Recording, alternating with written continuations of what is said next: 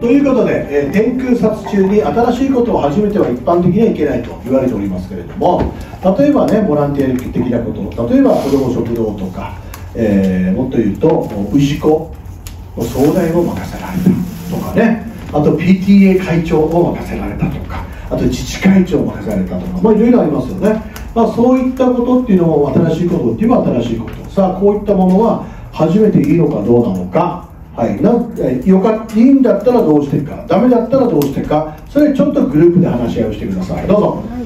当然意見が出たと思うんですけれどもこの場合はどうなのかというと天空札のなんかかぶって持ってる人います？いるかな、まあ、そこ見たら分かるんだけどやった方がいいところっていうところに奉仕とか神社参拝とかね墓参りとかまああるでしょ？で今の話でいくと奉仕でしょ？これ積極的にやっていいです。ただし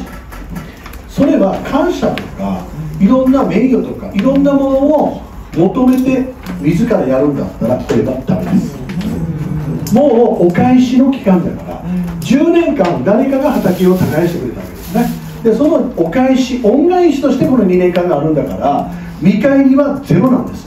だってありがとうって尽くしてるのになんで感謝言わないんだっていうと一緒でしょ。でそれは感謝に対して感謝っておかしいじゃないですか。だからそこはだからその人が何かこう世の中にいいことをしてみんなから認められたいとか褒められたいとか感謝されたいっていうそういう意思でやるんだったらダメです、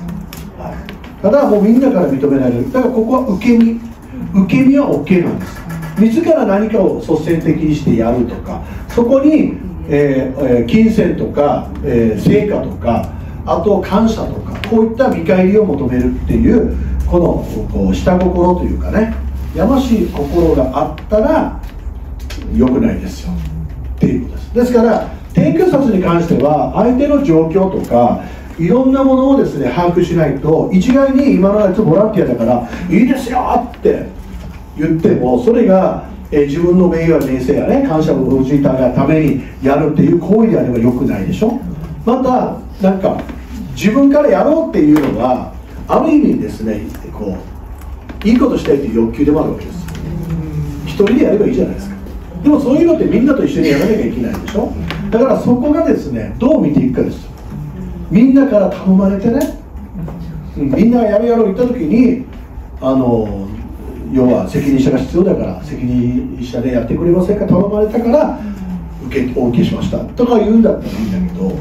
だからその人のことをよく見ていかないとあなたがいいって言ったからやったのによくいいことないじゃないですかみたいな。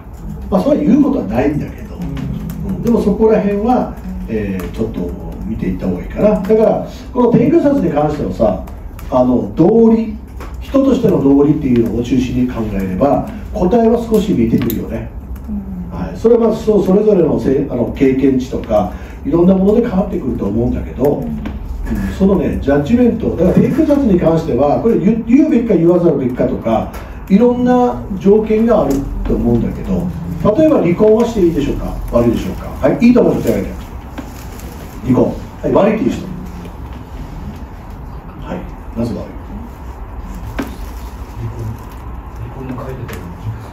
い項目の中におおそうなんですよ。はい。これね実は離婚はですねしていいんですよ。ただし離婚をする離婚って終わりでしょ。終わることはいいんだけど始まりがダメなんですね。ただ離婚が終わると今度は、えー、この争いが始まる。裁判があったりね。でこういう争いが始まるような離婚はダメなんです。だからそこはちょっと注釈がいりますね、はい、離婚は基本的には問題ないんだけど離婚したら何かが始まる提訴が始まるとかそういった要素がある状態であれば避けた方がいいですよっていうことだと思います。はい。さあ結婚はいいか悪いか。結婚は？はい。悪いですよね。ただし相手が2回目3回目だったらいいんですよ。初めてじゃないから。でもっと言うと昔の占いって昔のものだから男性上位女性会みたいなこんなあ違ったでしょ？でこれがね逆転した場合女性が年上の場合はいいと、はい、これは非常識なんですね要は。常識じゃないんです昔で言うと。今はもうちょっと一般的になってきたけどあと海外の人と結婚する場合こういった場合も天天空殺の場合はあまり影響がないというふうに言われております、はい、あとあるのがねえー、っと来年結婚したいと思ってるんです。天空殺です。どうしたらいいですか？なんて言う？早めに結婚しそう席だけ入れるとかね、はい、席だけ入れるっていうのもあるけどじゃあ再来年ぐらい結構しようかなと思ってるんです。席だけ入れるそれはそれはしようかなと思ってるんだったらあと何ヶ月か伸ばしたらって話ですよね、はい、まあそういったこともあります。来年夏にお店を出そうと今計画で言う人がいろいろやってるんですけどどうしたらいいですか？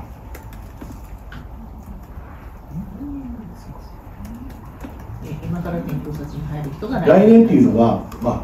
えっと、2023年の時に言われたとして、ね、だったら、えっと、会社の登記だけ先にしておいてくださいここでなんですけどその人が今天空殺かどうかっていうことをチェックしてその上で鑑定をしないと天空殺っていうのを分からないままあなたはエネルギッシュでみたいな。あなたはとにかく若い頃にね形成化結果を上げてみたいな。今しかない。もう時間がないから早くやりなさいって言ったら天空殺だったっていうのがとかあるでしょ、ね、でそれをね言うか言わないかは別で自分が知っておくっていうことが大事なんです。ね、ところがね心優しい人はですねそれを分かっているのにあこれ言言った方がいいのかな言わない方がいいのかなっつって躊躇していくと言葉がどんどん重みがなくなっていくねこちらが起きますのでそこは気をつけて